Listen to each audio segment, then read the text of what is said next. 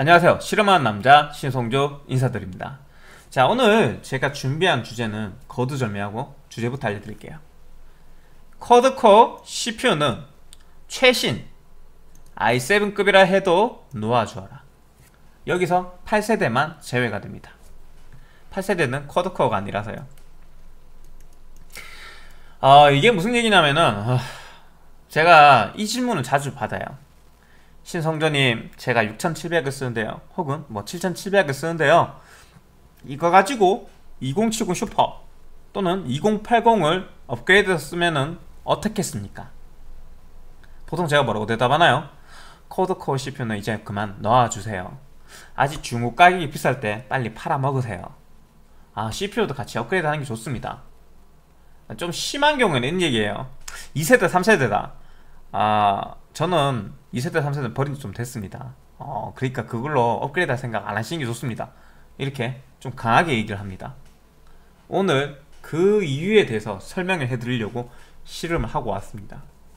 원래 어, 4000 시리즈도 같이 하려고 마음을 먹었었는데 4790을 사지를 못해서 어쩔 수 없이 6700만 가지고 실험을 하게 되었습니다. 그것만 양해 부탁드려요. 네, 어찌됐든 6, 7세대는 성능이 거의 똑같고 그리고 6700은 4000보다도 훨씬 게임 프레임이 잘 나오는 편입니다. 10% 정도. 그거 감안하면은 이제 이 밑에 급은 이거랑 대입해서 봤을 때 더 밑에 있으니까 도저히 못 쓰겠구나 라는 예, 결론이 날 거예요. 그러니까 오늘 한번 저와 함께 왜 신성조가 quad core CPU로 그래픽카드 업그레이드 하지 말라고 하는지 한번 보도록 합시다. 일단 앞에 게임 영상부터 먼저 보여드렸어요. 그 게임 영상에 나온 시스템이 9700K의 2070 슈퍼 Palit JS V2 그리고 메모리는 G.Skill CL14 3200XMP를 적용한 상태로 게임을 플레이했습니다. CPU는 오버클럭을 하지 않았어요. 어, 메모리는 사실 이거는 6700한테 매우 유리한 조건이라고 말씀을 드릴게요. 왜? 6700은 기본 메모리 속도 얼마입니까?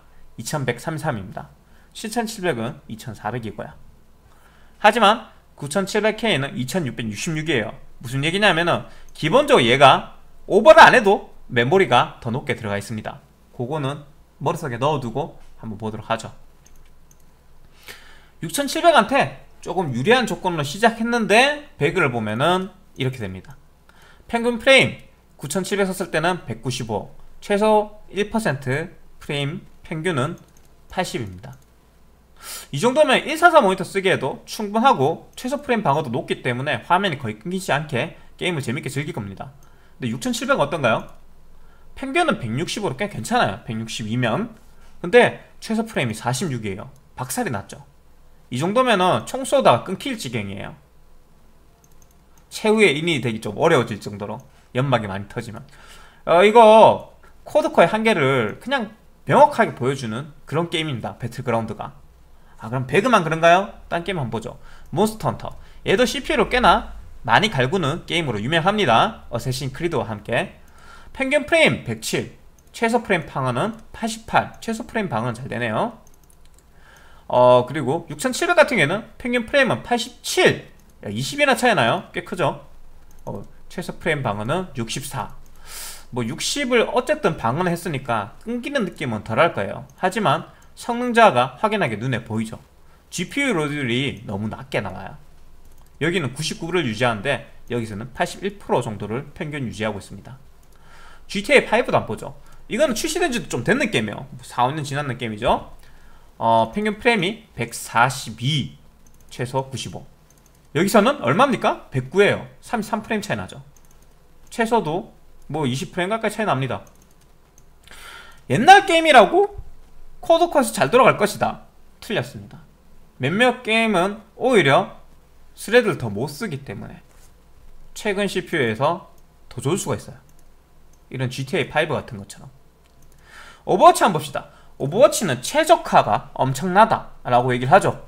그래서 그런지 몰라도 특이합니다. 6700 이겼어요 뭐 많이 차이는 안 나는데 4프레임 차이로 이겼습니다.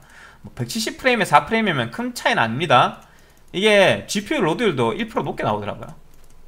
제가 두세 번 다시 측정해도 별 차이는 안 났어요. 똑같이 나오거나 미세하게 6700 이겼습니다.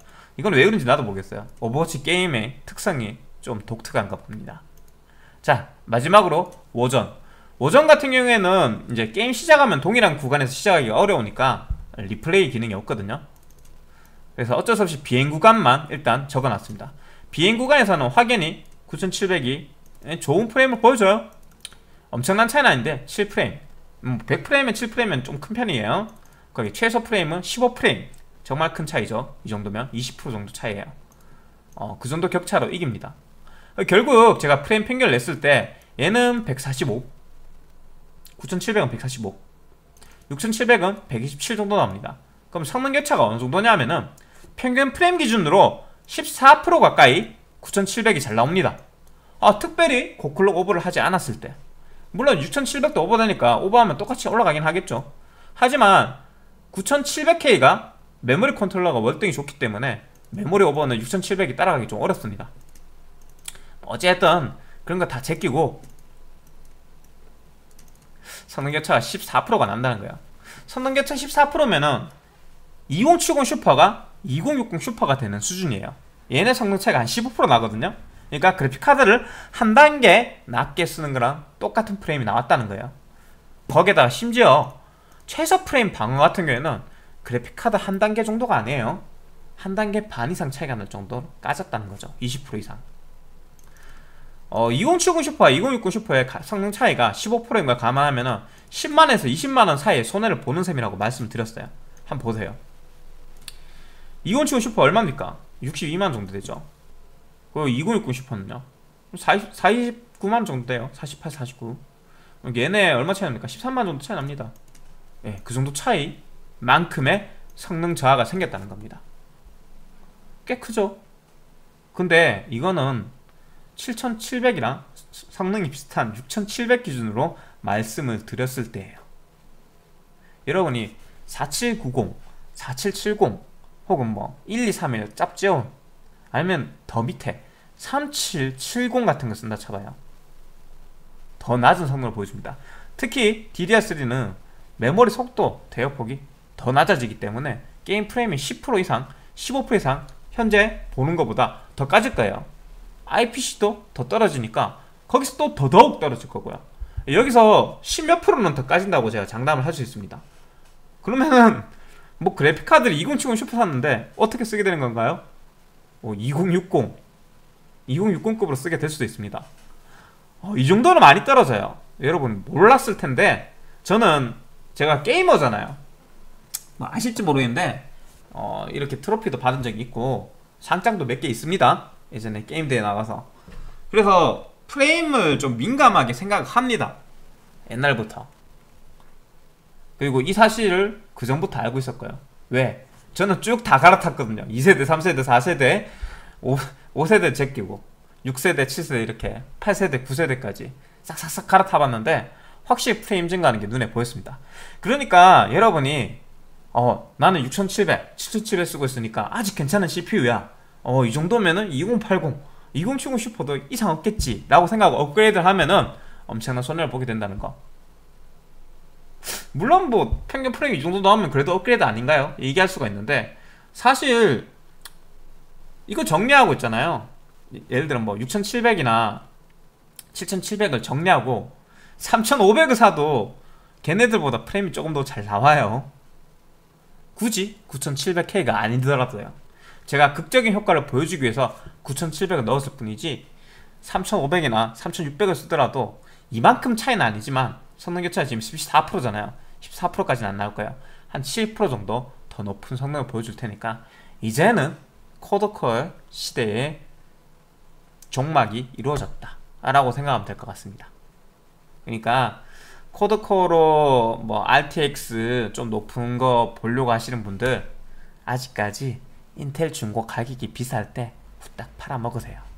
저도 오늘 테스트 끝나고 빨리 다시 팔아야 되겠습니다 여튼 어, 오늘 영상 어떻게? 도움이 되셨나요? 제가 늘 커더커는 이제 그만 좀 버리자. 어? 놔주자. 그랬던 거를 한번 뒷받침하기 위해서 영상을 찍었습니다. 중고로 6,700 산다고 27만원 썼어요. 아 이거 씨 얼마 받을라나? 좀 비싸게 산 것 같은데. 아 여튼 여러분 저 이렇게 사위 막 쏟아가면서 영상 찍은 건데 좋아요는 눌러주실 거죠? 오늘은 여기까지 하고 다음번에 더 좋은 영상으로 만나 뵙겠습니다. 여러분 바이바이. 오늘 또 후보가 갑니다. 뭐